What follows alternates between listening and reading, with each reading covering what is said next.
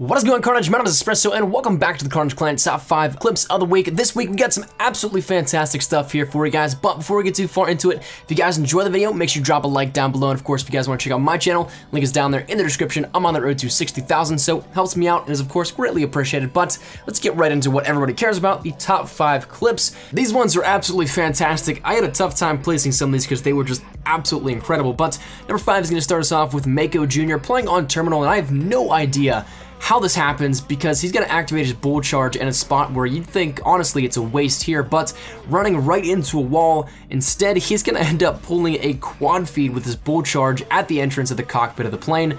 What a start here to this week this top five. So number four is gonna go to I'm BXN, back at it and killing it here again with the Kendall 44 in some hardcore for this one. He's gonna make it look incredibly easy, not taking much damage and still managing to pick up two quad feeds and a total of 10 kills with a single pistol running around the enemy team's spawn, and that is pretty slick if you ask me. I like this one a lot here. Number three though is gonna go to Waleed, bringing us another bull charge clip. This one's just gonna be a little bit more of something else here.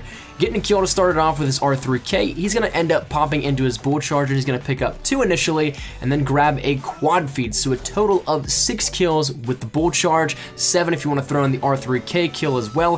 Then he's going to give us a little extra something here to add on to the clip and he gets a triple with his Trinity rockets after he's dead. So Pretty sweet turn of events here if you ask me here with this one. But number two, this one's gonna rock your socks. This one goes to Satric and he's gonna be taking number two with this one and it's a beauty.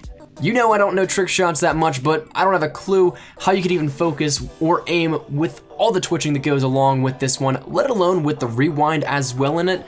Simply on top of all this and just putting it all together, plain and simple, it's a nasty shot and definitely in slow motion, Oh, it's pretty. It's pretty here. So, number one here, taking the crown this week. This is going to be a quick one, and it's one of the first seven-man on-screens that I've seen in Infinite Warfare thus far. This one goes to Dixon, who may have gotten the world's fastest kill chain as well to date in this game, but regardless, it's so pretty. They all funnel out of the lobby on Genesis, and he pulls the seven-man on-screen off, only for a split second, but it is there, and it's definitely a beauty. So that's gonna wrap up this top five here with this week. Hopefully you guys did enjoy. That said, if you guys did, make sure you drop a like down below. And of course, if you guys wanna submit your clips for a chance to be featured in next week's top five or any other top five for that matter, make sure you send your clips to KARNAGEclan5 at hotmail.com. Of course, if you guys wanna check out my channel, link is down there in the description below. Greatly does help me out on the road to 60,000, but it's completely optional. If you guys wanna stick around on the channel here, make sure you do so. Click subscribe on KARNAGE's channel as well. We got some really cool stuff you guys definitely will not wanna miss. So thank you dudes so much for watching. Hopefully you guys enjoyed. Mine has been Espresso. I'll see you guys later.